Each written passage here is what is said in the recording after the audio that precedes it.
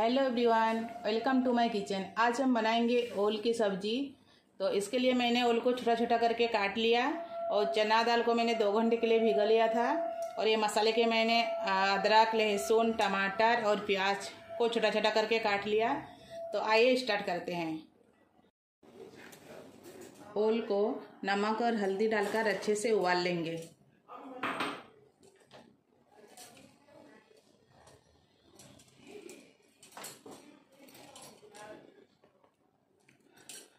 हल्दी पाउडर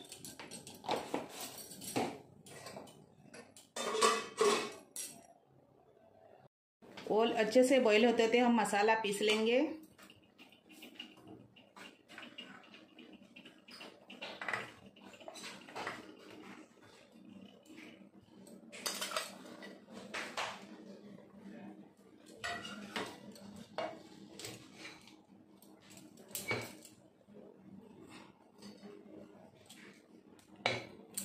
और चना दाल को एक सीटी लगा देंगे नमक हल्दी डालकर।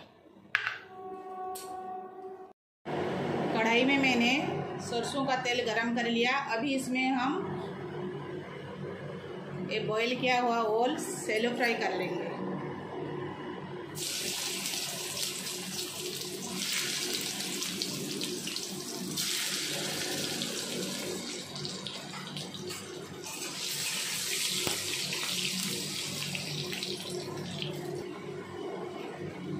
मैंने सेलो फ्राई कर लिया, अभी हम एक प्लेट में निकाल लेंगे।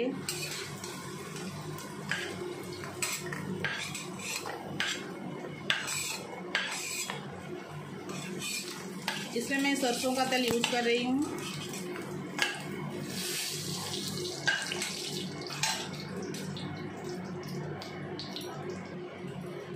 कढ़ाई में जो तेल बचा था, उसी तेल में तेज़पत्ता, सूखी मिर्ची और जीरा डाल देंगे।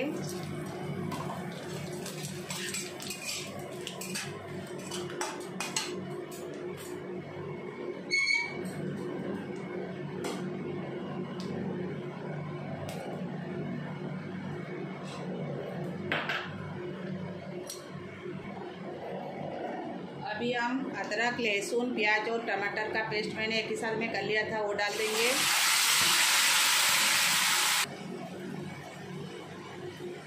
थोड़ा सा लाल मिर्च पाउडर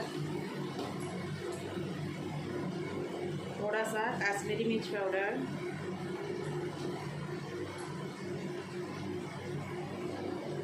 थोड़ा सा हल्दी। और थोड़ा सा नमक। और मसाले को हम अच्छे से भून लेंगे।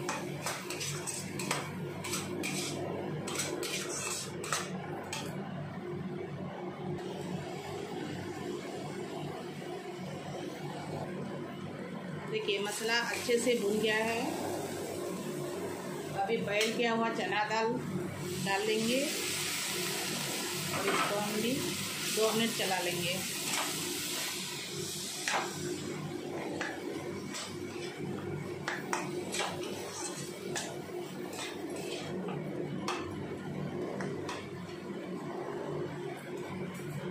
अभी हम ओल डाल देंगे।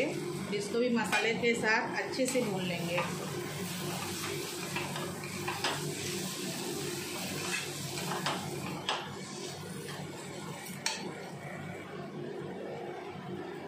अभी हम एक कप गुनगुना पानी डाल देंगे और इसको 10 मिनट हम सीम में पकाएँगे।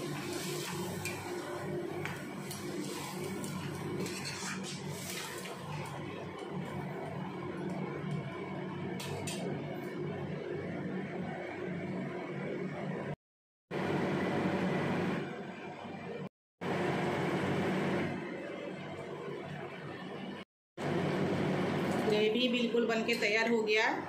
अभी ऊपर में थोड़ा सा हम देसी घी डाल देंगे।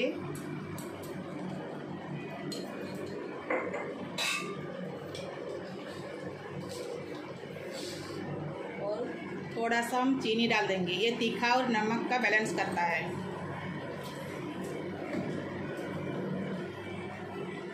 और थोड़ा धनिया पत्ती डाल देंगे। इसको अच्छे से मिक्स कर लेंगे। आप चाहो तो ग्रेवी कम बेसी रख सकते हो।